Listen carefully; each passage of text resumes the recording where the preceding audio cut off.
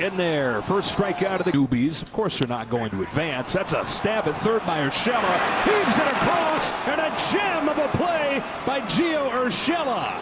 Wow. Crismatt cruises in the second.